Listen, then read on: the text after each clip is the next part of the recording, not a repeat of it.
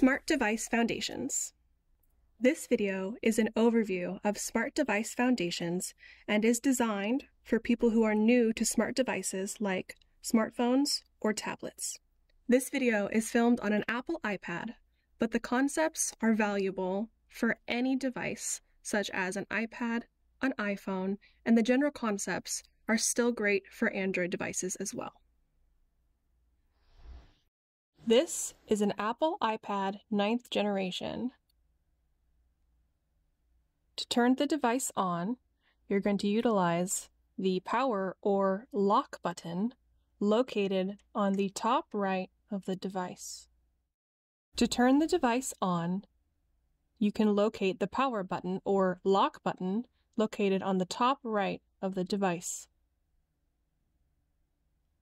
This button is a physical button and requires a small amount of pressure to activate. To power the device on, push and hold the lock button until you hear a small click. Then wait until the apple appears on screen.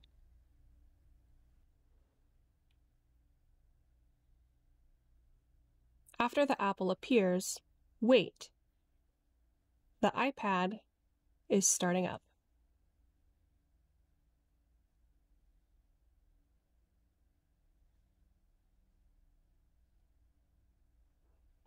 This is the home screen.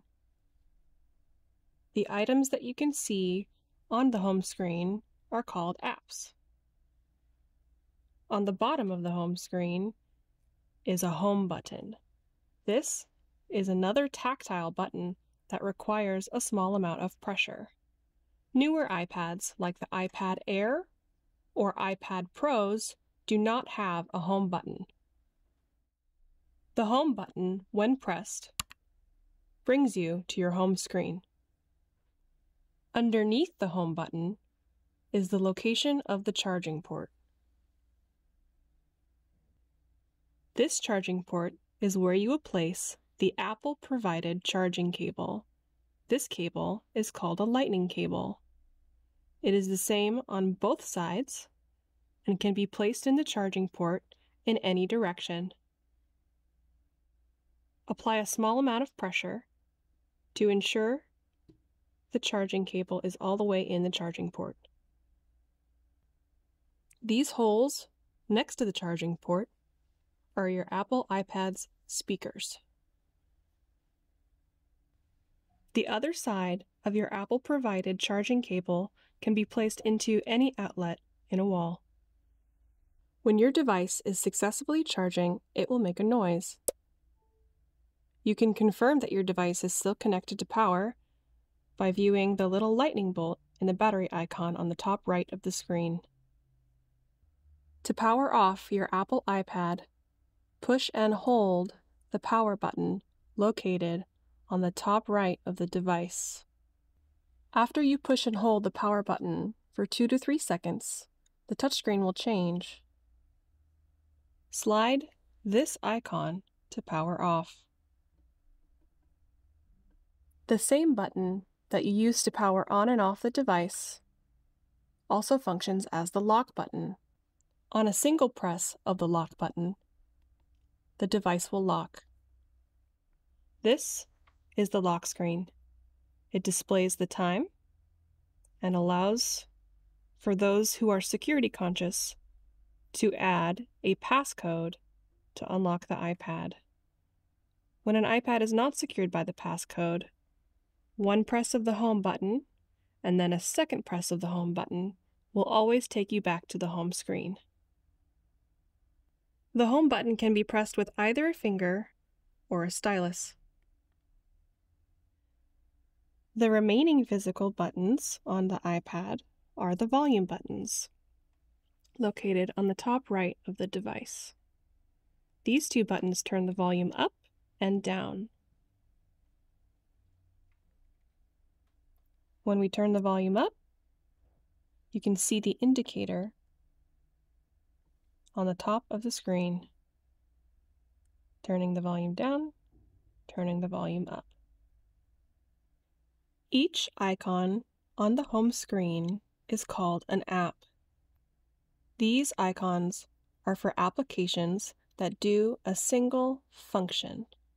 For example, the Maps app gives you the map of your surrounding area or any area in the world. This app can provide directions to where you'd like to go driving, walking, bus, or taxi. You can find new apps on the App Store. If you can think it, there's an app for that.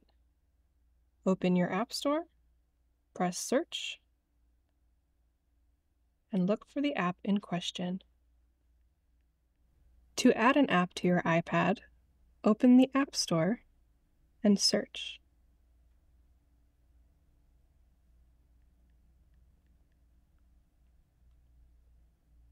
To download an app, press the Get button.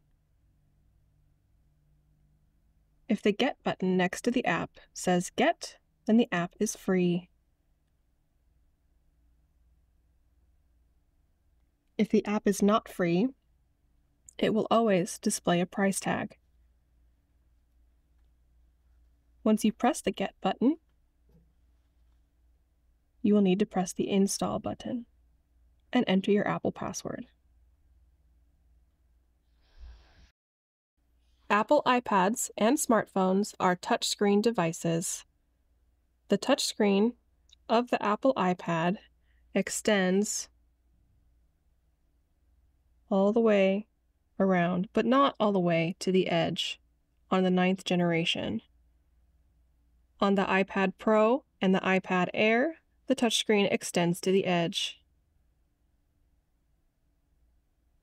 To utilize a touchscreen, you can use your finger or a stylus like this to interact with the touchscreen.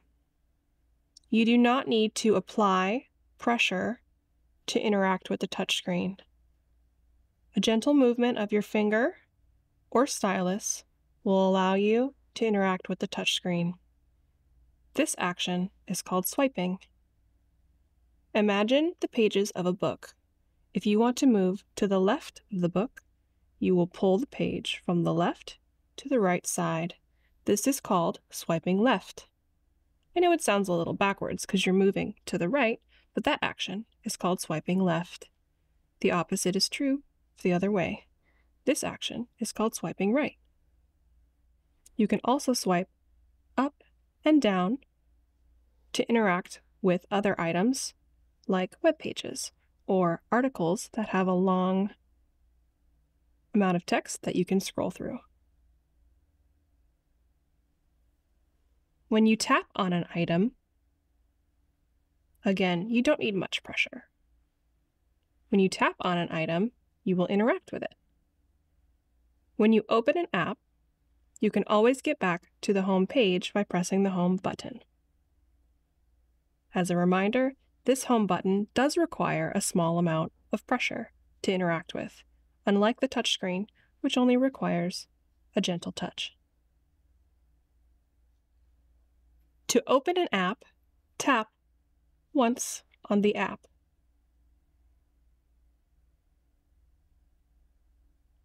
If you want to zoom in on an item, you can utilize a gesture we call pinch. You can use two fingers your forefinger and thumb, or two separate fingers if you have trouble with this motion, to zoom in on an item. Utilizing your two fingers, you can pinch or expand your fingers to zoom in and out. Some people may find they accidentally hold too long when they're interacting with an app or the screen. If you push and hold on an app, a secondary menu will appear. If you open this by accident, you can escape it by pressing or tapping in the empty space around it, or by pushing the home button. On your home screen, on the bottom, there is a section called the dock. No matter what page of your home screen you are on, this dock will always be visible. If you have multiple home screens, like this, with apps on your first and second home screen, the apps in your dock will remain visible all the time. Put your most important or most used apps into the dock. To move an app, push and hold on an empty portion of the home screen. You will enter what I like to call jiggle mode. When your apps are jiggling, you can pick them up and move them around. To move them to your second home screen, bring them to the edge, but not too far. And place them where you'd like them to go. If you drag your apps too far to the edge, you will drop them. On an Apple device, you can access a tool called your Control Center from the top right of the screen. Your best bet is to aim for the battery icon and then pull down. This is your control center. Here, you can access volume controls, brightness controls, accessibility settings, airplane mode, and so much more. You can exit Control Center by tapping in the excess space around it.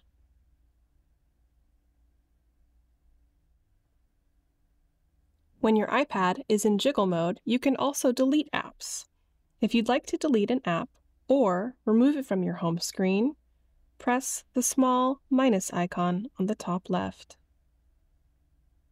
From this icon, you can select the option to delete the app or remove it from the home screen. If you remove the app from the home screen, it will stay on your iPad located in the app library. To find the app library, scroll all the way to the right. All of the apps located on your iPad are automatically categorized.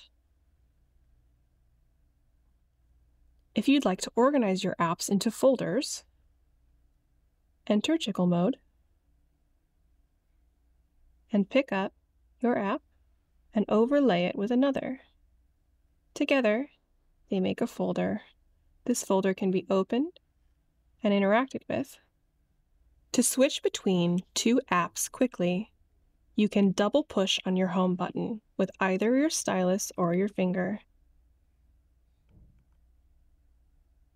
You'll need to double push it quickly in order to open the app switcher. From here, you can see all your recently opened apps. You can switch between apps or utilize the app switcher to quit apps. If an app is experiencing issues or isn't behaving correctly, my first recommendation is to quit the app. Open the app switcher by double clicking on the home button and drag that app to the top of the screen. Once the app is quit, you can always open it again. You are not deleting the app this way, just giving it a little rest. If you continue to have issues with an app or your device, restart your iPad utilizing the lock slash power button. If you are having trouble connecting to the internet, please view our other video in our Tech Literacy video series that covers internet connection. If you find that you have trouble utilizing a touchscreen with your finger, you can try a stylus.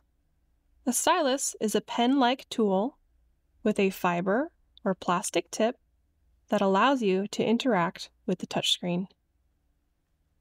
This item can swipe and tap and hold and pinch just like a finger can. Some people who have trouble interacting with the touchscreen may find it is easier to use this tool.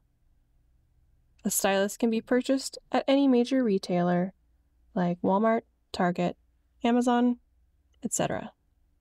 If you want to utilize your device for listening to music or for video calling, you can plug in wired headphones in the port on the top left of the device. To place the cable in, apply pressure until it's all the way inserted. As a reminder, this is an iPad 9th generation. Not every iPad or iPhone has a physical headphone port. For those devices without a headphone port, please utilize Bluetooth headphones.